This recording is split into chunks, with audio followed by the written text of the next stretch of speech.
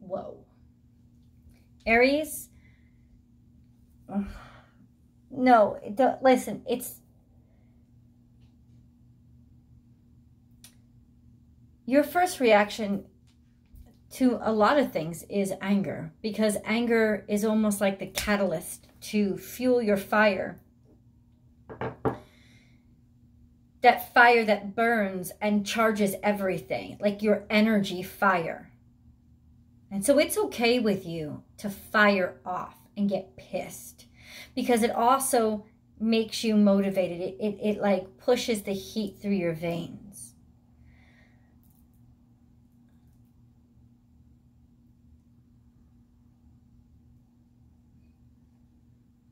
I don't think you want that. I know that you're angry.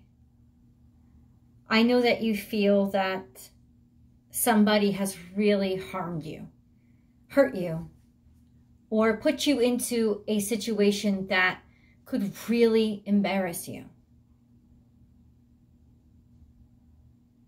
Perhaps they have. Albeit, and, and for some of you, it might be intentional. For others of you, most of you, I don't think that it is.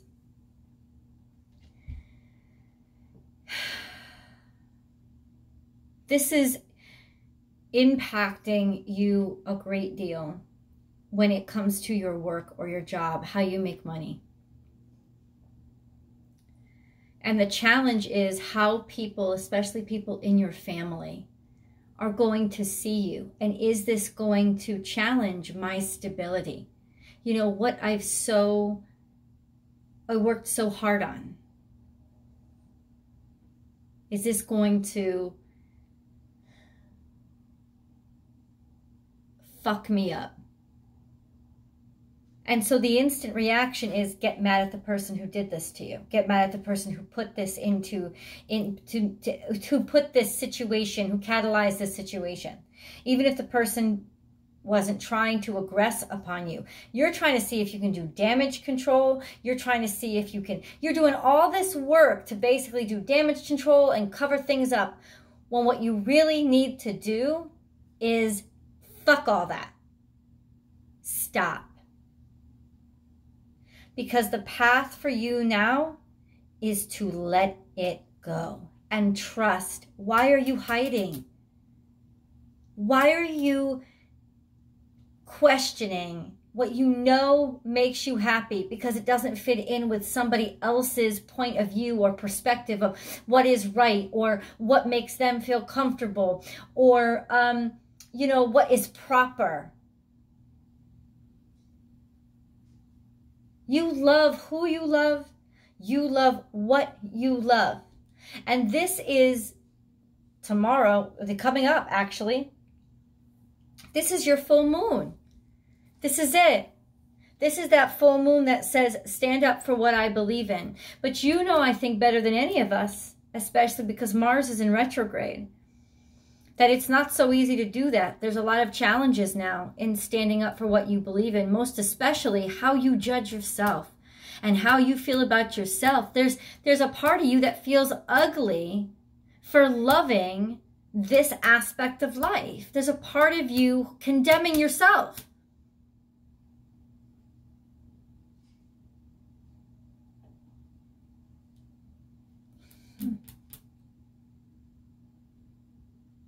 I don't think you want to move quickly. And you shouldn't. But there's definitely a message coming in for you, something that you did not expect. There is definitely a circumstance coming in that kind of took you by surprise. Now, it could be blatant treachery by somebody, probably a female. Now, if you are a female, you might have sent a letter Well, this could be a friend. I think this is a friend. I think this is a friend of yours who let the cat out of the bag, let something out of the bag, outed you in a way that you didn't want to be outed. Now, this person is usually this a sunshine in your life, a very loyal friend, somebody that you love a great deal. Right? But instead, they got you into trouble once again, I do not think it was intentional. And that's why you're trying to think to yourself, well, how do I deal with this circumstance? Now, if this happened to you a couple of weeks ago, the impact of this is just starting now to resonate, which is why it's coming back up again. This sense of you thought that you covered it up, you thought you buried it, but it's back again. You can't cover anything up with Mercury heading into Scorpio. That's the thing. It all comes back. It's coming back to haunt you. And you don't know how to, how to deal with it. You really don't know. There's, there's how, how to react to it. I'm going to tell you how to react to it. You're going to surrender. You're going to let yourself be who you are and be proud of who you are. And you're not going to be afraid of the judgment against you. You're going to tell people how to love you. You're going to tell people about you. You're going to surrender. You're going to allow this to be. It has something to do with sex. Your sensuality. It's interesting how so many of my, my best friends are Aries and, and, you know, they are just pristine professionals. They are ladies in the street and freaks in the bed. And they really do like to keep those two things separate. There is something here about allowing those two things to not be separate, those two worlds to merge. And that is the scary part. That is the fear. That is the, I don't want those two parts to merge because I've been very, very comfortable keeping them apart. But something is catalyzing the crash of those two worlds whether it was intentional, uh, if it was, ultimately it doesn't matter. Because ultimately what you're really having to deal with is the fallout. And, but do you even need damage control? That's my real question to you. Why do you need the damage control? This is not about protecting your life. This is not about saving your life. This is about owning your life. This is about being proud of every aspect of your life. And no, I'm not one of those tarts who feels like you have to put your shit all over Instagram or all over social media. Not everybody has to be a fucking reality show. I understand that some things are about privacy, but this is impacting your work somehow. What you really love to do versus what you do do and you've gotten yourself real secure fitting in that compartment that you don't belong in. And it's these two worlds that are crashing right now. Maybe inside of you. You know? Maybe that's what it is. Maybe this is you. It's not even a friend. What is it? Conflicting between loyalty and riskiness. Treachery or, or chaos and consistency. Who are you? What do you want to be? What do you want to tell the world about who you are? You want to keep these two things separate? They're not separate anymore.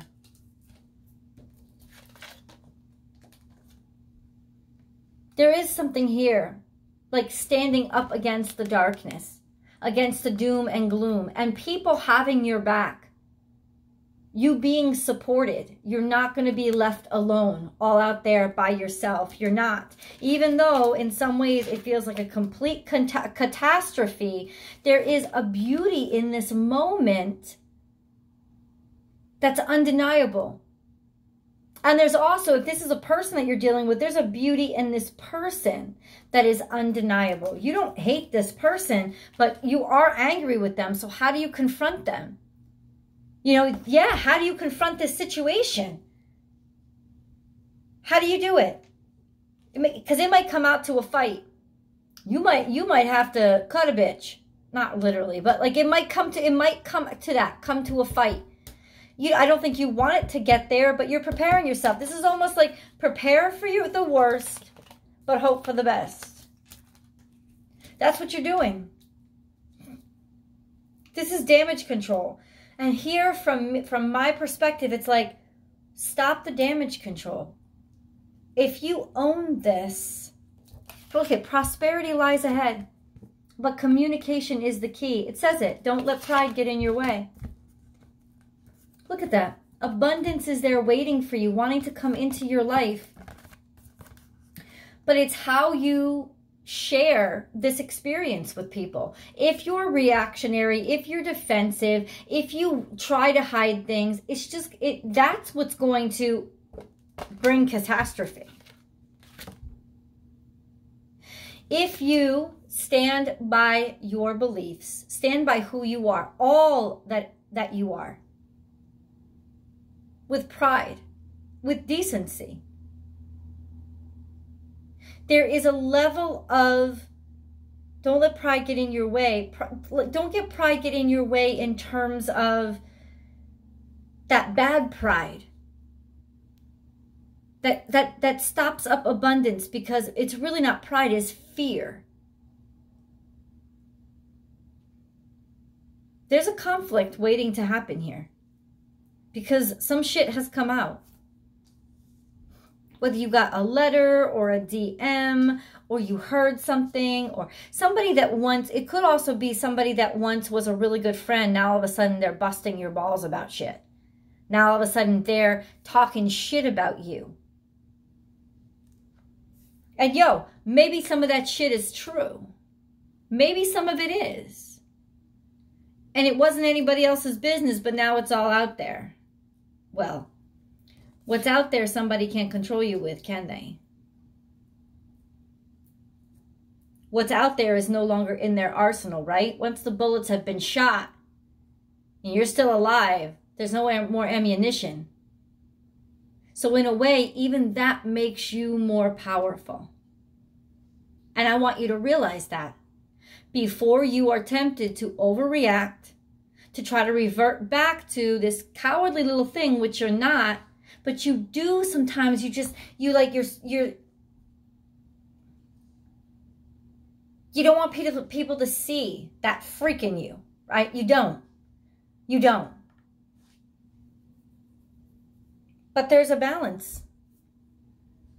And being in libra season with chiron butting heads with the sun there is this sense of listen it wasn't your fault it wasn't your fault that all this shit got splattered and came out.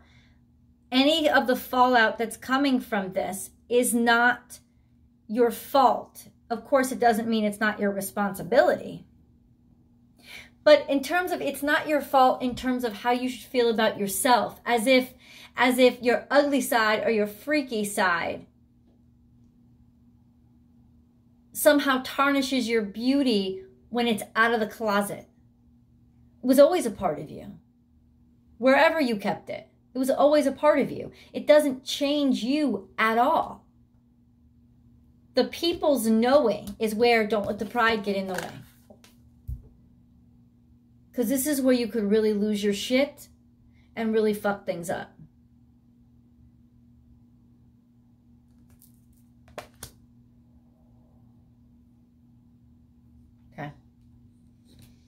Let's get into the main reading. Aries. Aries. Aries. Aries. Ooh, Aries.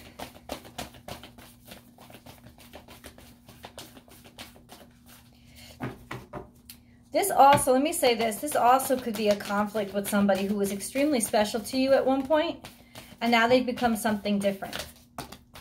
But in some ways, right now, you're in this mode of peace. I told you, it's like when Mars is in retrograde, it's like the warrior on leave. I don't want to fight right now. I don't want to pick up my gun right now. I don't want that shit right now. But this is what you have to deal with. Like being personally attacked or feeling like your profession is or the way that you make money somehow is being attacked, right? This sense of taking a much more passive hands off position than normally you would.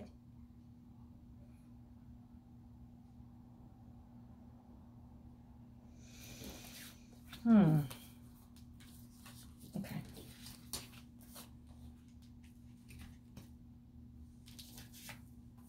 I don't think you're ready for a new beginning. Life is a mystery See the big picture and take the lead, and Spirit has your back. You may not know where you're headed, but Spirit does. And so this is a, entirely a leap of faith. It's almost like you know that there's a change coming, that you know that the future requires you to make a change, you to, to be somewhere different, go somewhere different, do something different. You just aren't really sure what that is yet. And you didn't want to take any leaps until you were. But here we have this sense of impetuousness, impatience, charging into something, as well as a feeling of uh, the cat getting out of the bag. Be here now. Nope. Watch and wait. Nope. This is wanting to push forward, wanting to move on, being sick and tired of being sick and tired, being sick and tired of waiting. Impatience. Lay a solid foundation, this and that are true. Seeing somebody else's side of the story.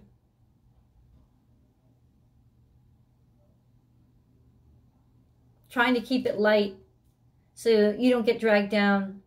Friendliness, happiness, um, playfulness, playfulness. Trying to build something that is fresh, sexy, new, playful. You know, yes, lay a solid foundation. You want to make this work, but you want to keep it light. You want to keep it, you want to keep it low key. You want to keep it kind of even keel.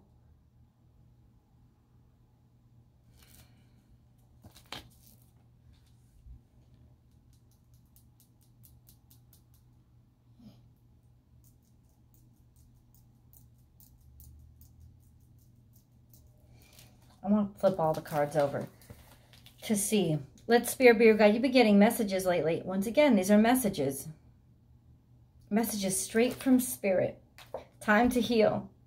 That are directly connected to this Kundalini energy. Look at this. Sacral. Sacral core. Sacral energy.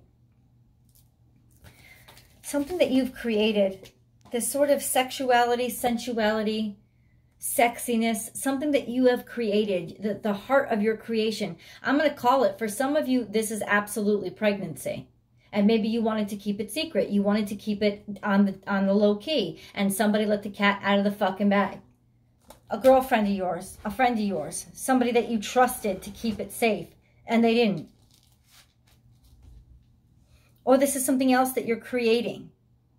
Like giving into your truth, your true self, your truth of who you are, your se- like like owning your sexuality and your sensuality and not trying to keep it secret anymore.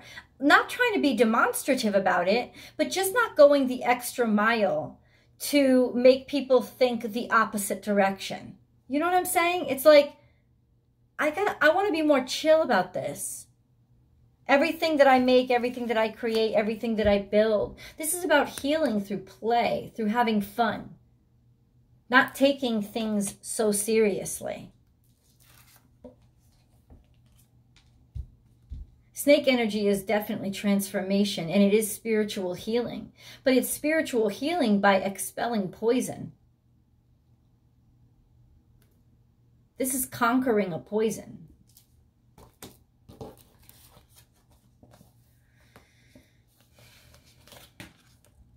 Wise old owl, advice, Aquarius energy. You see clearly now. You get it. That's the way forward, Aries. You have to be lighter hearted with this. Because this is playfulness too. This is that sense of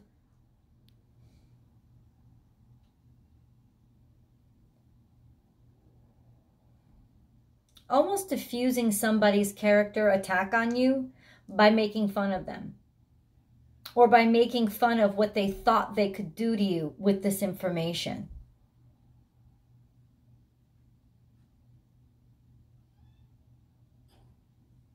Also, realizing in your gut that somebody was just joking around. They were just playing around. They didn't mean it seriously. But still, there's a sense of you being pissed as fuck and you not being able to easily let it go. This is scorpionic energy. This is Aquarius energy. This is feeling stuck, feeling like your underside, your soft underbelly has been exposed because some secrets have come out and you're trying to like keep them in, hold them in. Good luck. You're not going to do it. That's just not how this week is framed. At the very least, Aries, you have to have the strength and the courage to, and make that decision, Aries, to embrace what's just come out into the open.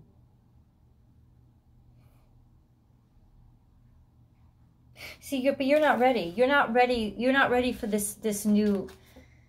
Somebody chose this for you, and that's part of why you're not ready because you're pissed and you want to fight them. But you're also just you weren't emotionally ready to be outed. I'm gonna I'm gonna use that word. I'm gonna use that phrase. You weren't emotionally ready to be outed.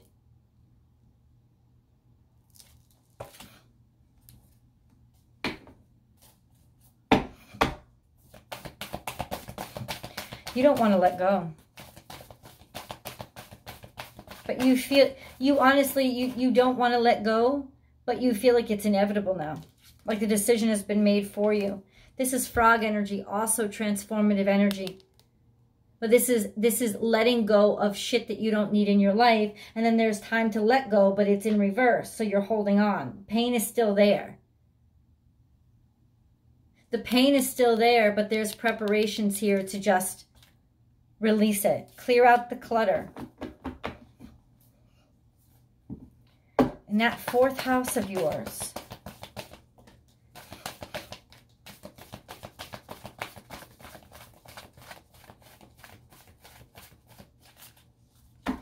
you could be literally unleashing a lot. If you have a sister or a conflict that you've had with her, you could be unleashing a lot of pain that you've held in toward a female family member, maybe even a mother.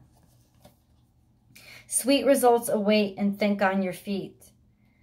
Both fire energy, Sagittarius and Leo, here to help you and support you, fuel you. This chaos, this unexpected predicament, is going to lead to a great deal of abundance, Aries. And I don't think it was abundance that you would have found by yourself because you would have continued to keep things hidden and secretive. But this kind of like, this is your fox again. Fox is appearing twice in your reading now. You got to improvise. Got to figure out how to handle this situation. But this is Leo energy. Standing by yourself, sticking up for yourself, realizing your value and your worth and never forgetting it.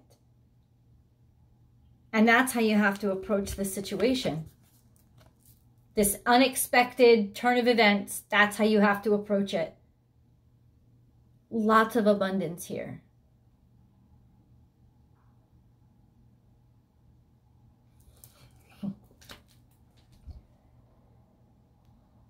You know, if there's if Chiron's butting heads with Leo and everything is square, like squaring the moon, which is in Aries, like not feeling yourself, feeling doubt all the time, feeling like nothing's happening fast enough.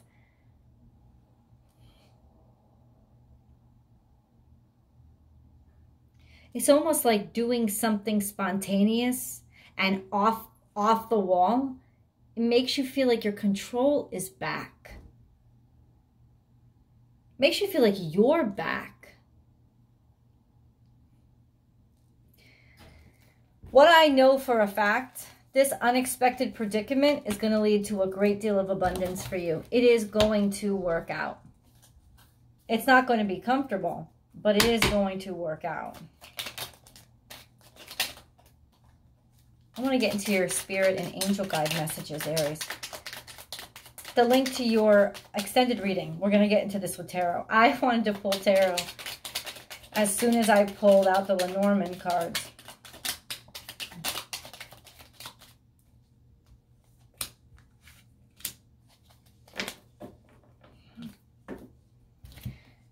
First card that came out, Archangel Michael. That means you're protected.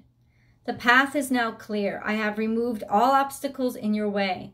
Now, that could even mean obstacles of yourself, obstacles of your own pride.